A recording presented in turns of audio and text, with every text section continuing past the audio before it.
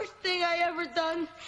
I mixed up all this fake puke at home, and then I went to this movie theater, hid the puke in my jacket, climbed up to the balcony, and then, this is then I made a noise like this.